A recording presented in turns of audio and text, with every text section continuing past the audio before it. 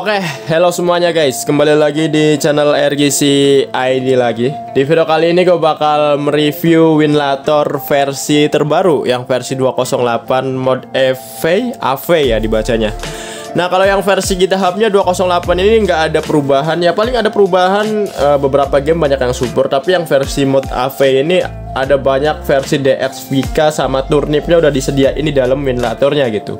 Dan gue bakal coba tes game RE3 Remake yang ada di depan ini wallpapernya yang gue pakai di laptop.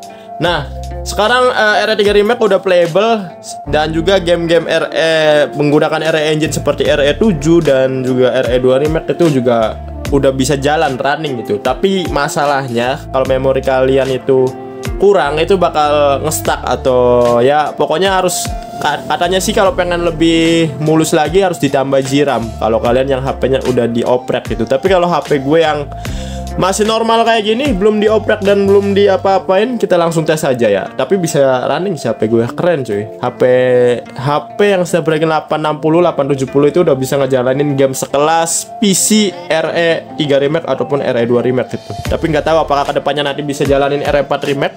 Mungkin Snapdragon 8 Gen 3 ya yang bakal rilis dan udah ada ray tracing gitu. Nah Oke, kita langsung masuk saja ke Winlator versi AV-nya yang sudah 208 ini. Ini juga settingan di sini gue pakai yang resolusi 360p ya, by the way. Biar lebih mulus aja gitu. Nah, ini resolusinya kalian bisa lihat sendiri uh, gue pakai resolusi 360p dan CPU-nya kalau pengen, pengen ngacir settingan seperti ini nih yang di checklist dan yang unchecklist. So FPS aktifin aja turnip zinc pakainya tetap normal dan video memory size gue setting ke 4 GB gitu. Nah seperti itu settingan uh, Winlatornya. Kita langsung running aja Winlatornya ke Windows mode.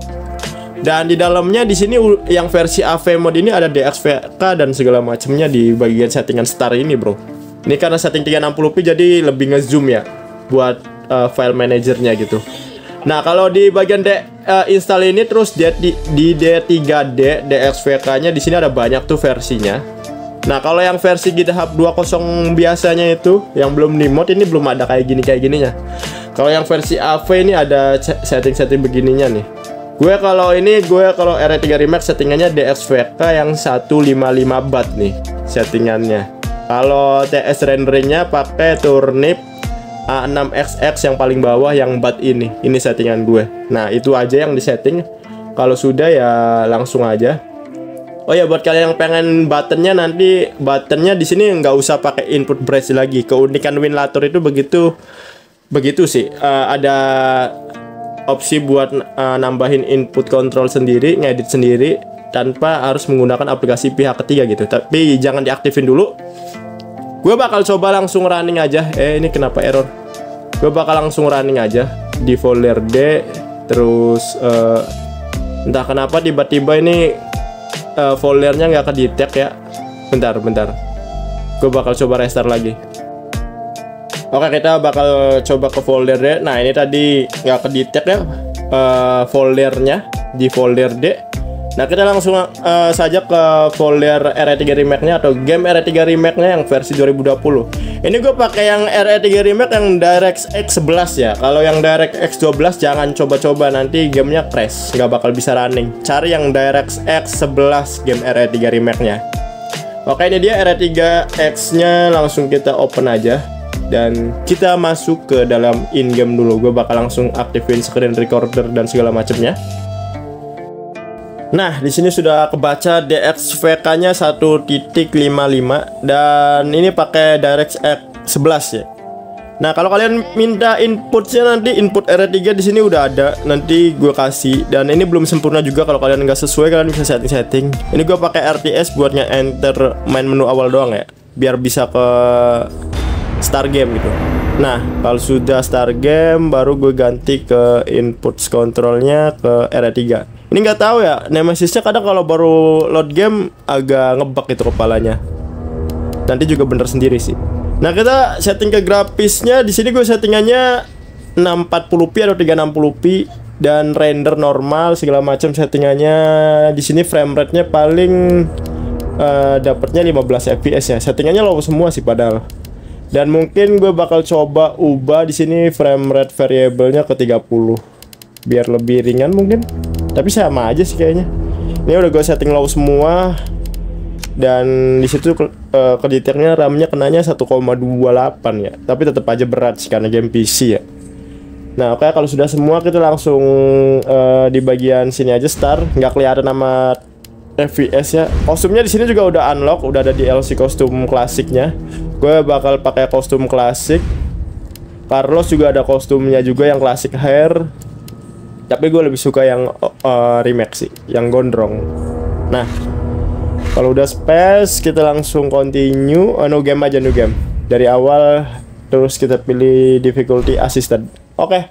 ini loadingnya lumayan cepet sih. Emang uh, bisa dibilang kecepatan memori Android yang UFS 3.1 atau 3.2 ini lumayan kenceng ya bisa dibilang bikin loading game itu cepat walaupun ini game yang bisa dibilang game PC tapi cepet banget Nah kalau di cutscene ini sih cutscene kayak movie ini dapat sekitar 15 atau 14 fps ya.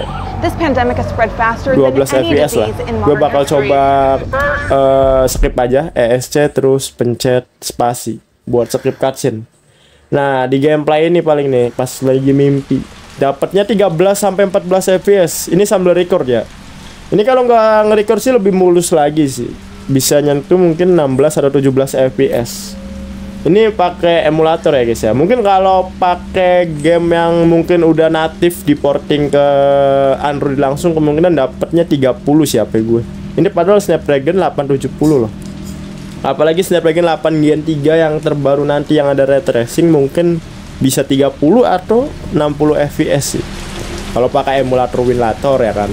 Tapi kalau game secara natifnya kemungkinan lebih mulus lagi sih. Ini pakai emulator aja udah se bisa dibilang udah lumayan playable banget gitu. Walaupun memang masih patah-patah banget kerasa kan. Dibandingkan dengan laptop gue yang RTX 3050 sih jauh sih. Tapi kan namanya eksperimen kita penasaran pengen nyoba performa Winlator terbaru gitu dan juga chipset Snapdragon 870 tanpa oprek dan masih original ROM Nah kita bakal coba lihat di cutscene ini. Ini kalau nggak salah awal-awal si Jill mimpinya jadi zombie ya di kaca. Ini padahal settingan 360p loh tapi lumayan detail kalau gue yang lihat di HP ya. Tapi kalau kalian yang nontonnya mungkin di laptop atau di PC mungkin bakal kelihatan burik karena ya layarnya gede. Tapi buat gue yang ngelihatnya dari HP layarnya cuma 6 inch sih nggak terlalu sih nggak terlalu ya burik sih burik kelihatan tapi masih oke okay lah kan layarnya kecil ya kan. 360p menurut gue kalau di porting di HP Android langsung sih kayaknya lebih playable ya. Kayaknya kalau di porting langsung ke Android mungkin bisa reso 720p atau 540p ini padahal udah gue turunin sampai mentok loh resolusinya 360p tapi dapetnya fps ya cuma 14 13 fps gitu.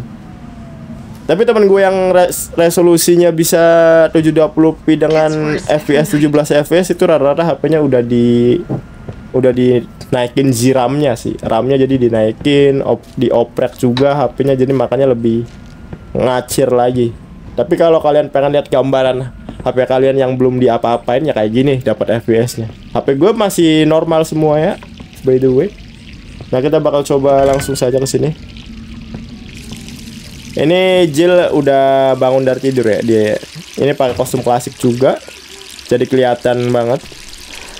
Kostum dari RE3 yang dulu. Walaupun nggak sama persis tapi sama lah. Ini kelihatan sih blurry-nya nih. Kayak apa ya rambutnya itu bener-bener pixelated banget sih resolusi 360p loh tapi bisa jalan ya RE 3 remake ya?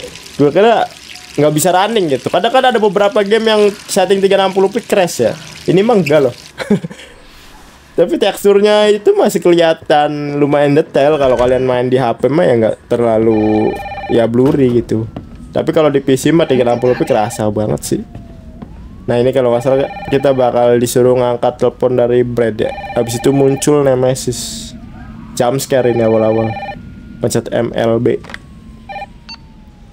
Hello? Jill, Dapat 876 Is that you? FPS. Listen, you gotta get out of there. What are you talking about? I don't have time to explain. You gotta get out of there right now. All right, let me grab my. Nah ini dia Nemesisnya jebol tembok dia.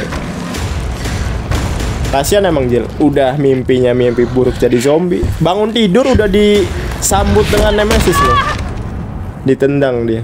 Ini padahal ditembak kepalanya itu headshot nggak ngefek loh. Ini Nemesisnya masih belum ngeliatin mukanya ya. Mukanya masih ditutupin pakai kayak plastik gitu. Kayak karet. Ini sih FPS-nya bener-bener cuma dapat ya segitu aja sih 10 11 FPS gitu. 7 kadang bisa ny- nyentuh 2 FPS itu anjir. Ah, gila ini FPS-nya parah-parah banget nih. Ya oke, muncul lagi Cinemesis. Nah, apakah abis ini FPS-nya bakal naik lagi? Kemungkinan di beberapa tempat bisa naik lagi sih. Nah ini dapat 12 FPS. Gila sih ini efek rambutnya kelihatan banget beda dari versi dari versi PS4 aja jauh banget cuy. Oke, kita langsung keluar aja.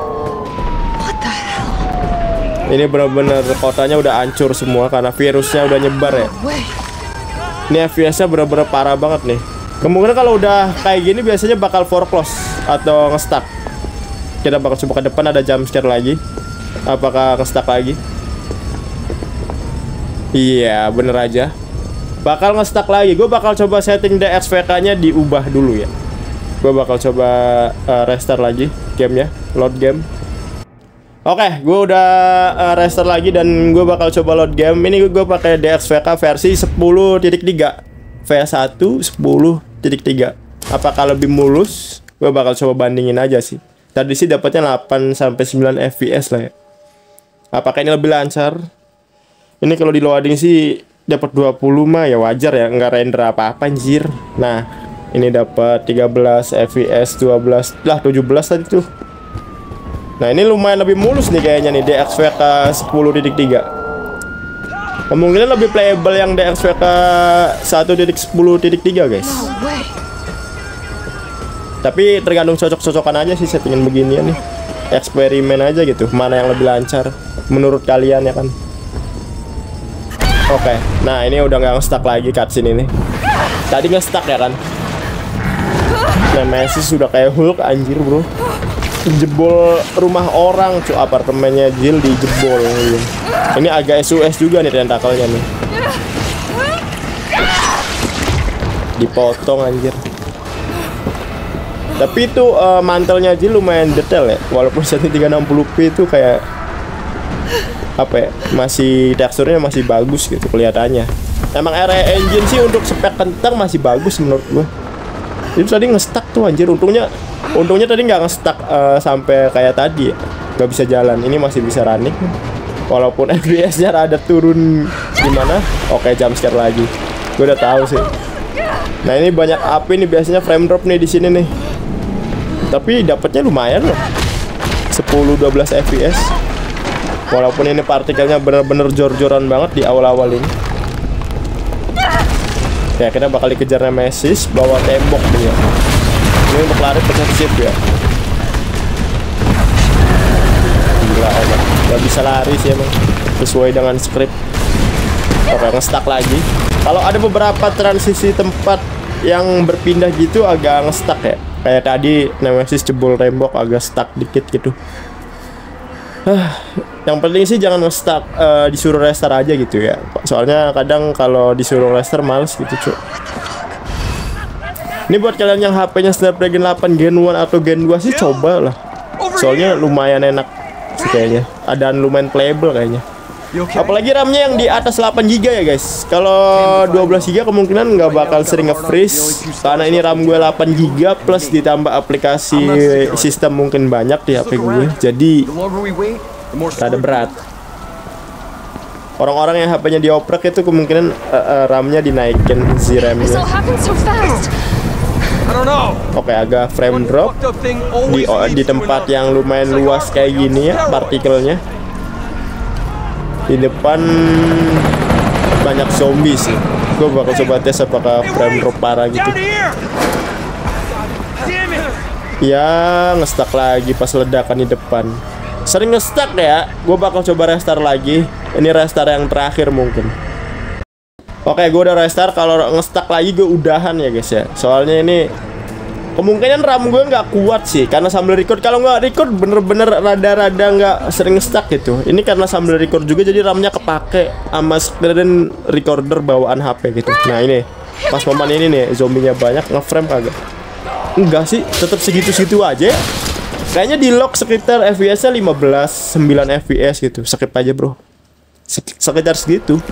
Nah, ini nih. Nah, ini 7 FPS nih parah banget ini, cuy. Banyak NPC dan partikel yang di render mungkin. Tapi kalau game-game yang dibawa RT Remake sih udah lancar ya kayak DMC4 gitu. Behind you, go! DMC4 yang bukan SE tapi itu udah playable. Tapi kalau ini emang berat sih. Tapi ini udah running aja menurutku udah oke sih. Oke, kita sudah keluar dari tempat tadi yang breadnya jadi zombie. Nah ini nih kita di sini bakal dapat senjata handgun dari polisi, mayat polisi nih. Gue nggak tahu nih AM-nya apakah udah di setup. Ini gue niru input controllernya dari temen gue yang di Telegram. Eh, ternyata huruf E sama F bukan buat nge-AM ya tapi MLB sama MRB anjir buat nge-AM nya ini susah sih bro ini ngestak lagi woi anjir iya kena. Oke nggak apa-apa. Sekalian nyoba pas digigit zombie ngeframe nya kayak gimana gitu. Lumayan dropnya sampai 78 fps bahkan 5 fps kalau ada kayak partikel yang jatuh. Semoga saja kalau game ini di port di Android secara natif sih kemungkinan lebih lancar lagi sih bro. Soalnya chipset-chipset HP zaman sekarang udah kenceng banget. Apalagi iPhone ya. Yang pakai chipset Abionic 17 ya yang terbaru. Nah ini itu helikopter. Kita disuruh naik helikopter ya. Oke kalau kita ngestak lagi kita udahan aja ya.